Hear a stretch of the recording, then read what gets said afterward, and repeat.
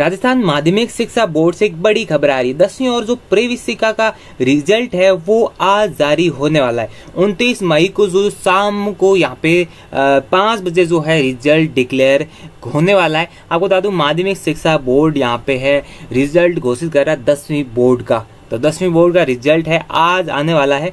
तो इसके लिए कैसे हम रिज़ल्ट देख सकते हैं? आपको सबको बताए, एक ऑफिशियली वेबसाइट होती है इनकी बोर्ड ऑफ़ सेकेंडरी एजुकेशन जो कि रिज़ल्ट डिक्लेयर होने के बाद में कभी भी ओपन नहीं होती है। हम रिज़ल्ट कैसे देख सकते हैं? फास्ट रिज़ल्ट कैसे देख सकते हैं? आपको बता दूँ, बहुत सारी वेबसाइटें होती है जिससे आप फास्ट रिज़ल्ट देख सकते हैं। अब बता दूँ, इसमें से आता है इंडिया रिज़ल्ट इंडिया रिज़ल्ट एक ऐसी वेबसाइट है जिसके ऊपर आप, जो है रिज़ल्ट चेक कर सकते हैं। जैसे मान लो इंडिया रिज़ल्ट में सर्च करता हूँ तो पहली वेबसाइट मेरे सामने आ जाती है तो ये आएँगे तो आपको यहाँ पे स्टेट सेलेक्ट करना है। जैसे हम हम राजस्थान का रिज़ल्ट शेयर करेंगे तो राजस्थान के ऊपर क्लिक करेंगे तो उसके बाद में लेटेस्ट अपडेट के अंदर यहाँ पे आ जाएगा। जैसे बारहवीं का रिज़ल्ट आया था, वैसे ही यहाँ पे देख सकते हैं। बारहवीं के अंदर आया था कि Rajasthan board twelfth arts result now available वैसे ही यहाँ पे लिखा आ जाएगा, Rajasthan tenth board result result now available यहाँ पे लिखा जाएगा। अभी फ़िलहाल रजिस्टर का आप, आपको आइकन नज़र आ रहा होगा।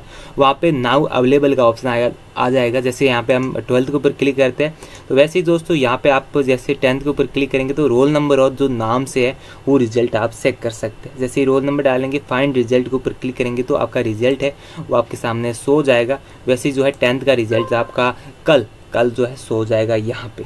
तो बोर्ड ऑफ़ सेकेंडरी एजुकेशन के जो भी रिज़ल्ट है वो आप इंडिया जो इंडिया रिज़ल्ट है, इसकी वेबसाइट पे चेकआउट कर सकते हैं।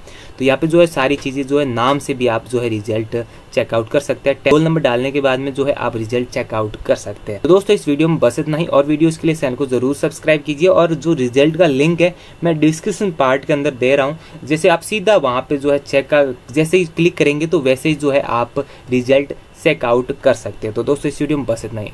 थैंक यू जय हिंद, जय भारत।